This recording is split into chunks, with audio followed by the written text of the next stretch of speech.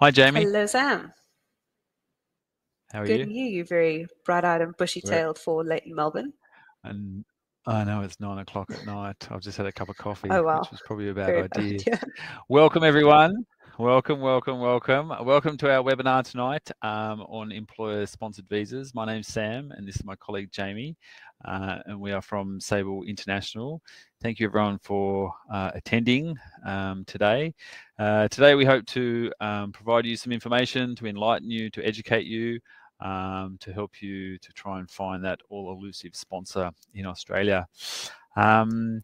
There's a chat box uh, functionality in this webinar, and we're happy for you to use the chat box. Um, only Jamie and I can see what you put in the chat box, so no one else who is logged in can see what you're writing in the chat box. Um, we welcome your questions throughout the webinar. We're not going to do specific in detail questions about your specific circumstances. It would be inappropriate to do that, but we're happy to do generic questions that might be appropriate to a lot of people. So feel free as we go, if you have a question to put in the chat box, and if we can answer it, then we will try and answer it on the spot. Otherwise, we might do a little bit of Q&A at the end also. Um, given that you have the functionality of the chat box, we'll ask people to use the chat box now and maybe um, just put into the chat box where you are, what city you're in, what country you're in, um, whereabouts you are located here and now. I'm in Melbourne, Australia, um, and Jamie is in South Africa, Cape Town. Sunny Cape Town. Um, sunny Cape Town. Sunny day today in Cape Town, is it, It Jamie? is. It's very, very nice. I'm ready for summer. Winter dragged on a little bit too long this year. Yeah, I feel the same way here in Melbourne. Okay, people so from all over. that's great. Yeah, people from all Durban, over. Joburg, Botswana, Mshlanga, Nigeria, Zim, Durban again. Oh, that's great. It's nice to see people from all over. George, Tunisia. Oh, wow. Tunisia. cool. Okay, we're, we're getting exotic we now. go. Someone tuning in from Tunisia. That's great. All right, that's great. Thank you everyone for participating. And like I say, feel free to chime in throughout the webinar. Um, who are we? Who is Sable? Um, so my name's Sam. I'm a registered migration agent. I have worked for this particular business for close to 17 years now. Um, I'm located in our Melbourne office. Um, I manage this office. I've been a registered migration agent for some some time now. I've worked in the industry for a long time. Um, as a business, we assist people um, to relocate overseas, uh, not just from South Africa, but from all around the world, and not just to the UK, uh, not just to Australia, but other locations like the UK. We're one of uh, the world's largest UK immigration providers. Um, we're also a foreign exchange business, a tax business. Um, we're an accounting business. We do a lot of different things. We're a group of companies uh, that employ people in Australia, in the United Kingdom, and in South Africa. Um, Jamie, would you like to introduce yourself? Absolutely. So I'm a migration consultant um, based in our Cape Town offices. Um, I work with our team in Australia, so with Sam's team and our team here in South Africa. Um, and predominantly at the moment, I work across a lot of employer sponsored visa applications. So today's topics are definitely in my wheelhouse. And if you've got any questions afterwards, please get in touch with me. Our contact details will be at the end, and I'm happy to speak with all of you. Jamie's your best local contact in South Africa and on that side of the world to speak to as your first port of contact when talking about employer sponsored visas. Um, all right, so today's agenda, we're going to talk about employer sponsored visas. What are they? What types of employer sponsored visas are available? What's the process of applying for an employer sponsored visa? Um, what's the most common employer sponsored visa? And how do I become a permanent resident through employer sponsored visas? We've got a lot to get through. We aim to do this webinar in 40 minutes. Um, so we've got 35 minutes to go. Let's get into it. So what are they? So an employer sponsored visa. So the Australian visa system allows businesses and other organisations in Australia to employ foreign citizens and obtain working visas for them. You cannot apply for an employer sponsored visa without first having an employer in Australia who has agreed to sponsor you. Jamie, is that a question that you get often? Get it quite often. Absolutely. It seems quite straight, quite straightforward to us because we do it every day. Uh, but to a lot of people, um, to those who don't understand the system, they don't understand entirely that they can't start this process and apply for an employer sponsored visa until they've found the employer. The term sponsor and nominator is used interchangeably when talking about these types of visas. Generally, it means that the employer is supporting your visa application in some regards. The types of support that they will offer will differ based on the type of visa that you're applying for. Subclasses. Okay, so in Australia, all of our visas are referred to as subclasses, and every subclass has a numerical value attached to it. So the 400, the 407, the 408, this is the language that we talk in the visa and immigration system in Australia. Get used to talking about subclasses and understand which subclass it is that you're applying for. So for example, we're doing a lot of applications for 400s out of South Africa at the moment, and the 400 is a temporary work short stay specialist visa. Typically, this visa can be granted for anywhere between three or six months, but it's for non-ongoing projects. So a lot of our employers here in Australia are using skills from overseas to come into Australia and quickly fix a skill shortage that they have in their business. The 400 is granted quickly. We had one granted today that was lodged earlier this week. So literally it can be granted within days or weeks. Um, and like I say, it's used by employers to get people in quickly to fill a job which they can't fill from here within Australia and is for a short immediate project. Jamie, are you seeing a lot of 400s out of South Africa at the Definitely moment? quite a few. I mean, like you say, um, it's even in the name, it's a short stay specialist visa. So a lot of employers in Australia, they have projects, think construction. They've got a six month construction project that they need engineers on or trades workers, things like that. So this works quite well in that instance. Yeah, for sure. We're building a lot of stuff here in Australia at the moment, a lot of roads, rail, uh, a lot of infrastructure and we simply don't have the people here to do it that we need. So that's the 400. Um, the 407 is quite common as well. It's a training visa. It's used by employers uh, to either bring people to Australia or retain here pe people here in Australia um, who perhaps don't necessarily have the level of skill to apply for a different type of visa, um, but have a foundation of knowledge in a particular op occupation that they wish to then upskill that person in. There are sporting visas, the 408 sporting visa. Um, I think we have a number of your rugby players here in Australia on the 408 at the moment, uh, trying to teach us guys how to play decent rugby. It's not working, but we'll keep trying. Um, the 482 visa, the temporary skills shortage visa, we're going to spend a lot of time talking about this particular visa today. Um, and it's probably one of the most common visas that people come into Australia on. The 494 regional sponsored visa is a relatively new visa and it's been used to great effect um, by employers in regional areas to source skills from overseas that they can't find in Australia. And then finally, we're going to talk about the 186 which is probably what everyone is aiming for and trying to qualify for because it is a permanent visa. So these are just some of the subclasses. These are not all of the subclasses of employer sponsored visas. It's just an example of a number of different uh, employer sponsored visas that you might be offered to come to live and work here in Australia for an employer. So what's the process of applying for an employer sponsored visa? Where do you start? So most applications for employer sponsored visas follow a process of sponsorship license, nomination, and then visa application. It needs to be done in that order in order to apply for each application after the other application has already been submitted. So a sponsorship license is granted to an employer here in Australia. Um, the employer needs to demonstrate that they are lawfully operating a business here in Australia. Um, the sponsor is typically granted a license for a period of five years. So they apply once for the license, um, and as long as they adhere to the rules, then the license is granted for five years and they can continue to sponsor people under that license. Um, once you have a license, you can then nominate um, an occupation that you wish to sponsor within your business. Um, so the nomination is all about the position, uh, it's about the job description, uh, it's about the particular occupation that you're choosing to nominate. Um, you, the business needs to demonstrate that there's a genuine need in their business to employ that particular person. There is no use, for example, um, for a physiotherapist office to try and employ a plumber in their office. Okay, so it's got to be genuine and in line with the type of business that they're operating here in Australia.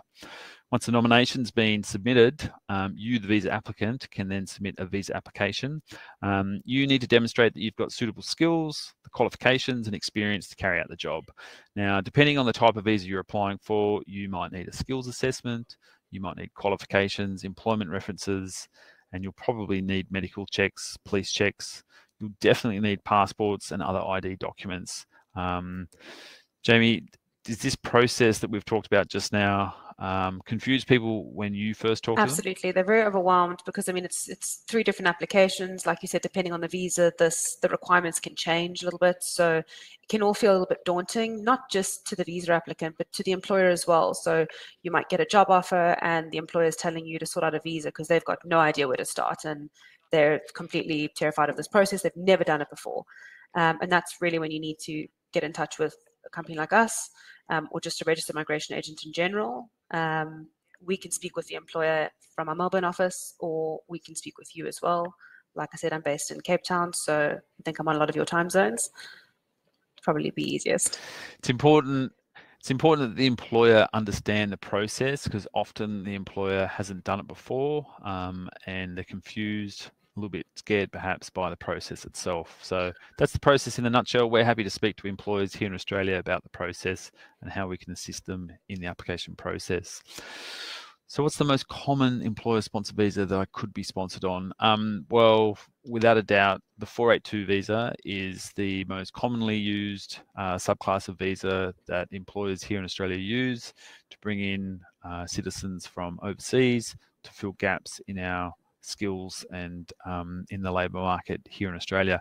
So it's referred to as the 482, the TSS visa or the temporary skills shortage visa.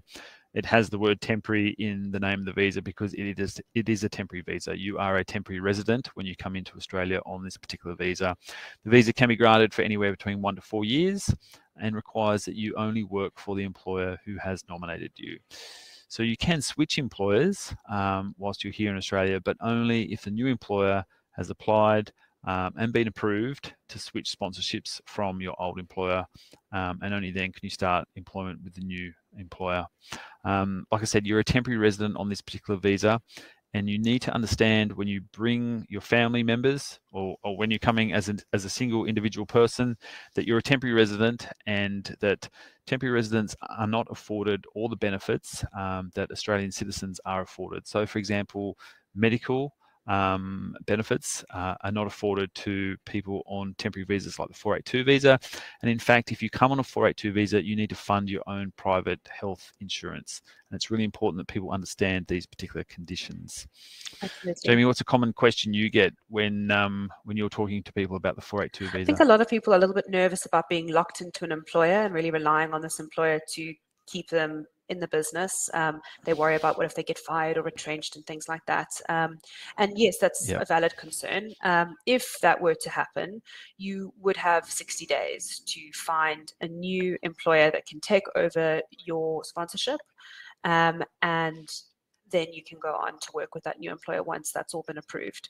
So it, I understand it can be a little bit of a short time frame, but you'd already be unsure, and it is definitely possible.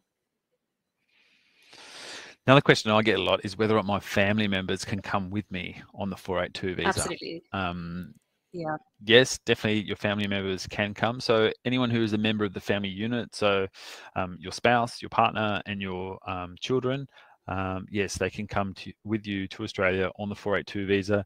Um, your partner has uh, full and unrestricted work rights. So a spouse can go and work for whomever they choose once they're onshore. They are not restricted. They don't have that limitation on their work rights like the main applicant does. Um, your children are entitled to come and to attend our, our state schools as well schooling is not necessarily free. It depends in which state of Australia you're in, and you need to research uh, those topics on schooling and costs of schooling um, before you commit to a 482 visa. But the 482 visa is the most common visa that uh, most people would, will come to Australia on. And for some people, it does provide a pathway to permanent residency as well. Um, and that's what we're going to talk about now. So how do I become a permanent resident through an employer-sponsored visa? So this particular pathway is referred to as the 186 visa um, and the Temporary Residence Transition Scheme, or TRT. So the TRT scheme says that you need to be under the age of 45 when you apply to transition, um, unless you have an exemption as a high income earner.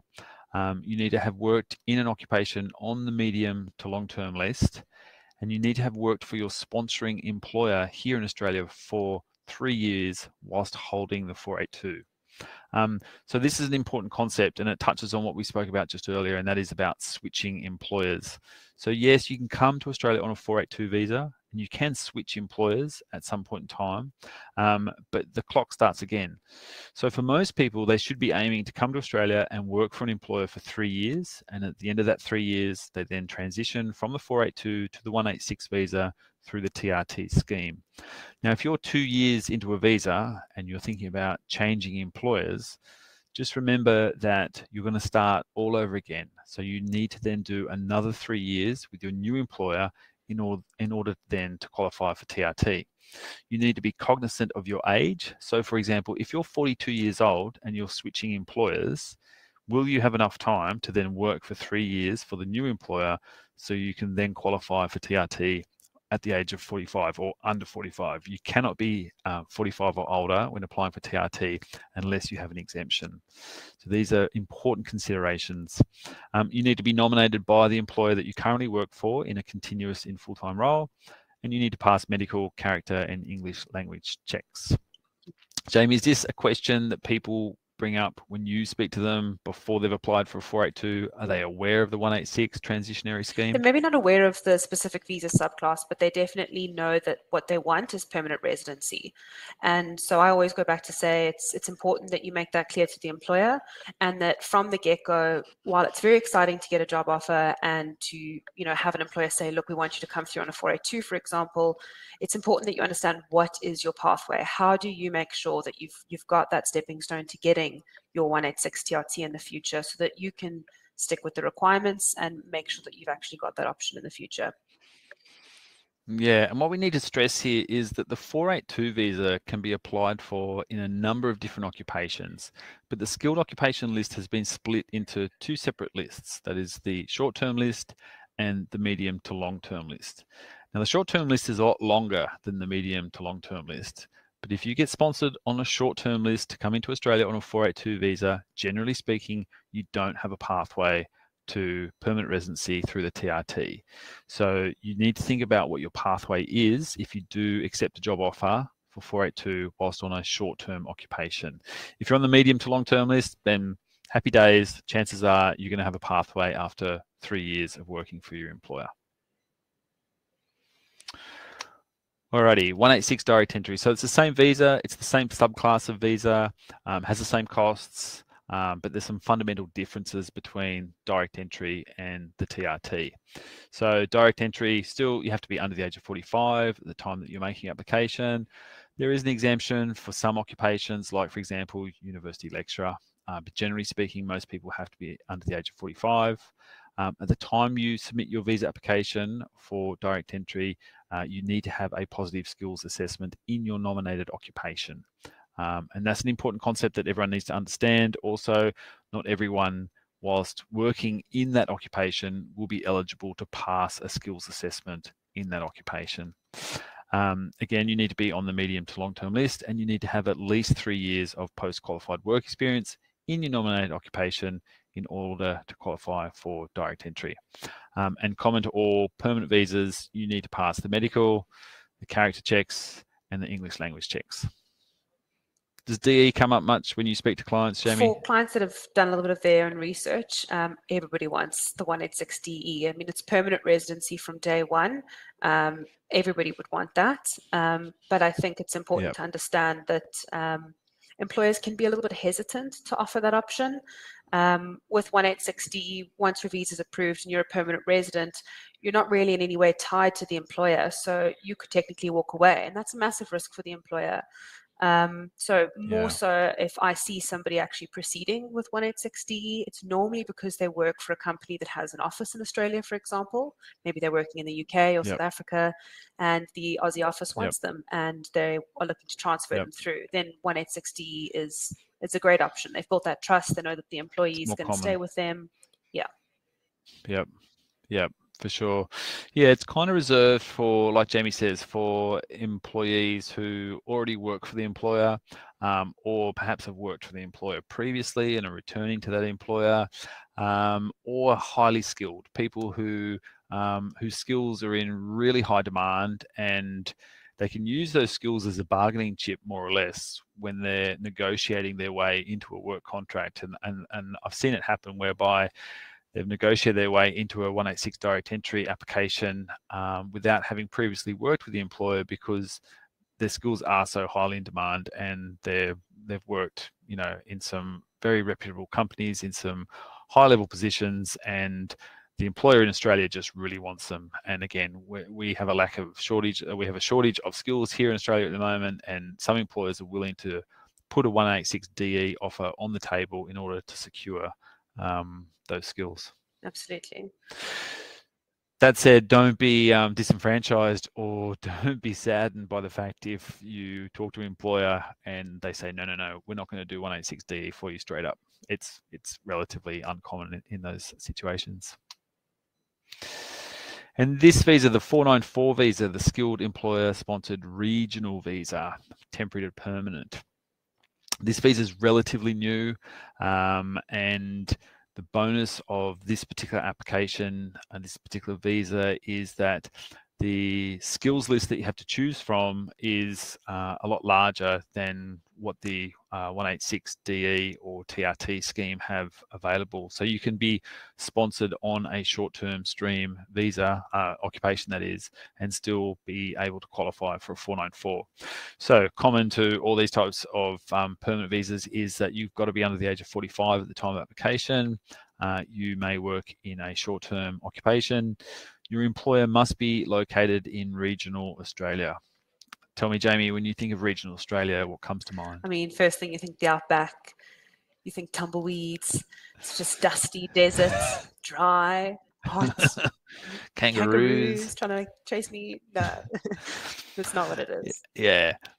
It's it's a big big misconception when it comes to the visa and immigration system that a regional area is in the outback, that it is the Great Sandy Desert, um, and that you are far, far away from any metropolitan area. The truth is, is that just about everywhere outside of Sydney, Melbourne, and Brisbane are considered to be regional. The whole state of South Australia is considered to be regional. The whole state of Western Australia is considered to be regional. So you could be living in Perth or Adelaide and, and still be nominated on a 494 visa.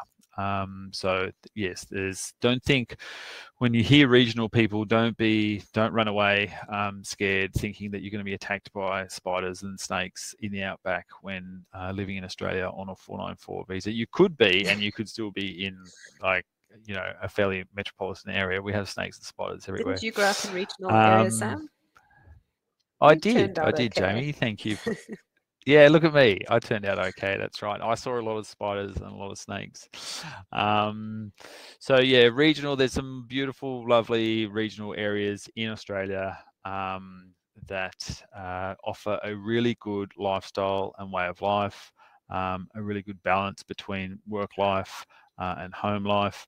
You don't have to put up with the commuting uh, through in a city and, and such. So consider this to be a really good option.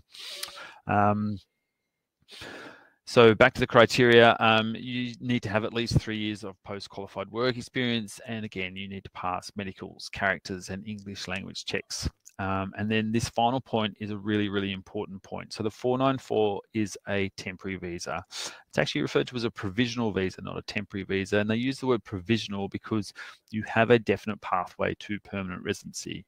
And you have that pathway through subclass 191. Um, and basically, the visa has been designed to say that as long as you live and work in the regional area for your sponsoring employer for a minimum period of three years, then you can apply for your permanent residency independently of your employer through subclass 191. So unlike the 186 TRT and unlike the 186 DE, whereby those applications are dependent on your employer nominating you, um, you have this definite pathway to permanent residency from the 494 via the 191. So it gives people some confidence that come to Australia, live and work here for three years, do your time, and you will get permanent residency. Is this a visa that you have many conversations about, Jamie, or is it um, not widely known um, with your uh, colleagues in South Africa? It's not widely known, but I think once you mention it as an option and people realize the pretty much sure and definite pathway to permanent residency is very, very attractive. Um, I think um, when you're moving to a new country, you want some level of certainty that you'll be able to make a permanent relocation. So the 494, I think, gives you that security. Um, and sure. and definitely, I mean, it's it's yes, you have to apply when you're under 45, but you don't have to be under 45 when you apply for your 191, which is great. So you mm. know, a, a little cohort of people in their early 40s, it opens up an opportunity for them to come to Australia and get their permanent residency, which is great. No, for sure. I see we have a, a question in the chat box um, asking uh, what sponsorship options do we advise for those people who are 45 years and older? I should mention that the 482 visa does not have an upper age limit. So you could be sponsored on a 482 visa at any age, um, as long as you've got the required skills, experience, um, relevant qualifications, then sure, come to Australia on a 482 visa, but just understand your limitations and uh, understand what your chances are as far as being able to transition from the 482 visa to a permanent visa, if at all possible. It might not be possible depending on you and your occupation um, and uh, who might be looking to sponsor you. Um, so for some people, and we see it, we recently had a client come to Australia um, who is over the age of 45, um, who is going to take up employment here in Australia um, and understands that he may well only be here for two to four years and, and then go home to South Africa. He still wanted the experience. Um, he still wanted to uh, try Australia, um, to work in a new country, um, perhaps make some money and take it home to South Africa. Yeah see another question as well. Um, a lot of people are concerned about passing English requirements, um, and they want to know if those sorts ah. of requirements can be waived. I mean, English requirements do apply across the board to these types of visas. The way you go about meeting English, um, it would depend on the visa. Sometimes, yes, you do have to do an English test. Sometimes it's holding an eligible passport. Sometimes it's proving that you've studied in English. So it's unfortunately not a question that we can say yes or no um, probably be best that we assess your individual circumstances and then take it from there. Yeah, um, sitting the English language test is probably the part of some applications which gives some of our clients uh, their most greatest concern. Yeah. Um, no one likes doing a test, and it's probably been a long time since most of us has had to sit exams or tests. Um, and yeah, people do get quite nervous about the English language test. Um, when we're talking about the 482 visa, for example, if you hold an eligible passport, for example, if you have a British passport, then um, you know you're exempt from English language. But um, not everyone's uh, lucky enough to have uh, a British passport. Um, the English language criteria is for a 482 visa um, is um, not a very, very high bar um, as compared to some other subclasses of visas. Someone's got a, got a, got a question there regards to IELTS. Do you have to do general or academic? Um, for any of these particular employer-sponsored visas, you could do general. Oh, okay. So moving on. How do you find an employer to sponsor you? This would have to be the most common oh, question yeah. you get asked, Jamie. Is that Always, right? day in, day out. That's the question. How do I find one? Let's see if we can yeah. tackle that. Yeah, let's see if we can tackle that. Um, we've got a few ideas, and it might not be anything you've heard before, but um, it's worth touching on again. So, how do you find a sponsor? Um, contact employers here in Australia, contact recruiters. Um, use your family and friends, use associates, use people you've worked for previously, work your contacts is our best advice. The people who we see who are successful in finding sponsors to employ them here in Australia have usually worked every contact they have. Um, and normally or commonly, um, they've found that employer um, through someone they know, not what they know. Um, that said, depending on your occupation, uh, you might find that um, it, it's not so difficult for you. Um, be prepared is my next um, set of advice, uh, which I would like everyone to um, consider. Um, you need to understand the process. You need to have your documents ready if you need a skills assessment for that particular occupation, then you need to have it approved already by the time you find that sponsor. I'll give you an example. So for a welder in South Africa to be sponsored on a 482 visa, it's mandatory for you to have a positive skills assessment at the time that you make your visa application. So if you are a welder in South Africa and you find an employer here in Australia and they are willing to sponsor you, then my suggestion would be that you have that skills assessment in hand at the time that you go and find the employer because the skills assessment could take six months to process. So it's no good finding the employer who has an immediate skills shortage um, and then being really eager on you but you not being able to fulfill the skill requirement at that time because your documents are not in order. So get educated on what the requirements are from you, the individual person, in order to satisfy the skills criteria for your particular occupation in that particular visa type. Um, like I said, some occupations will find sponsors more easily than others. This is because some skills are in very short supply here in Australia. Um, and this leads me on to my next point, and that is the fact that we currently have clients of ours who are employers here in Australia um, who are looking to sponsor people in these occupations. So construction project managers, um, we can't get enough of them at the moment here in Australia. Um, surveyors, civil engineering technicians, welders, auto electricians, diesel mechanics, mechanical fitters, air conditioning mechanics, motor mechanics.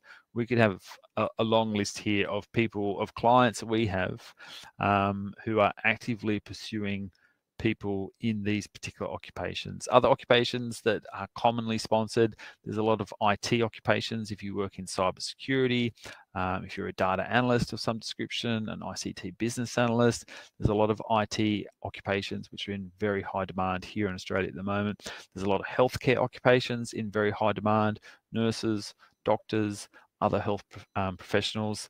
Um, Jamie, you've had quite a few clients contact you directly from South Africa and from the United Kingdom who work in uh, health and IT who have found their own employer sponsors. Is that Absolutely, right? Absolutely, yeah. They'll come to you at first, um, say that they haven't found anybody, they don't really know how to go about it, give them a few suggestions like what we've just spoke about today, and they go away and they're coming back a few weeks later and they've managed to find employers and not to sound rude or anything. They're not they're not uh, you know exceptional candidates. It's not like they're holding PhDs and 20 years work experience and they've you know reinvented the wheel. Yeah. They're going to cure cancer. It's not like that. They are general individuals that have just a yep. reasonable amount of work experience and they're qualified. Mm. And they're finding sponsors. Yep. It's it's an effect of the COVID pandemic. Australia having their borders closed for so long. Um, employer sponsored yep. visas get people in and get them in quickly. So it's a good option. Yeah, it's a good time to be looking for an employer to sponsor you here in Australia at the moment because the pandemic has left us with a really big shortage in the skills and labour that we need here in Australia to do what needs to be done. Our borders were closed for a long time. A lot of temporary residents left Australia. Um, so yeah, the opportunity at the moment um, to find yourself an employer sponsor uh, is good. Um, be flexible, be prepared to work in a regional area. Like we, we've already touched on, regional areas are, not the end of the earth. Um, you, you, you, might even be more uh, likely to find a sponsor in your particular occupation when you look in the regional areas. Some of the largest employers happen to be in the metropolitan and city areas. However, some of the employers who have the greatest skill shortages happen to be in the regional areas. Um, so don't cut yourself off just because you know someone in Sydney um, and you've been there and you, and you like the harbour doesn't mean that that's where you're going to find your job or that's where you're going to find your employer. So, you know, be willing to look elsewhere outside of those metropolitan areas.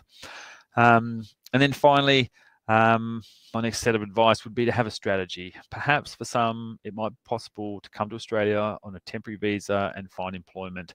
And we see this common on people who come to Australia on student visas um, or even on working holiday visas. Uh, so if you have an eligible passport like a British passport or an Irish passport, it's possible for you to come here on a working holiday visa. And what we find typically is then you you get to Australia, you're onshore, you have work rights, you find an employer, you work for them for a period of time, you prove yourself, and then they don't want to let you go. And then they're willing to go through the sponsorship process for you all too easily. The student visa option is a good one for those who are willing to study. Perhaps you've done a bachelor's degree back home. Perhaps you've got a couple of years of experience. You're considering doing a master's degree. If you came to Australia and studied a master's degree, you get a post study work visa for two or more years. And then you have independent work rights here in Australia. Um, and we see a lot of people then be sponsored after completing a, a master's degree or a bachelor's degree and then getting post study work rights here in Australia. Um, and then my final point is if you find an employer who is interested, but they're confused, they don't understand the process, um, and they want some further information, please get in touch with us. I'm happy to call the employer here in Australia and talk them through it, answer all their questions, um, and then hopefully after I have that conversation with the prospective employer, I can demystify the, the process. I can make it more simple for them. Uh, and in doing so, they're more open to the idea um, of going through this process of sponsorship.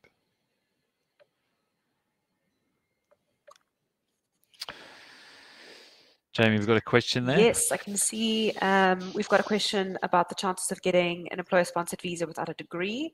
Um, it would depend on your occupation. So that's definitely something that we can look into for you. Um, I believe we actually have this individual's email address, so I'm more than happy to reach out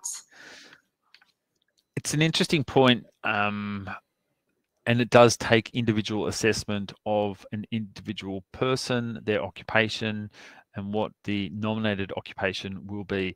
And I'll give you an example. A construction project manager does not need to have a degree.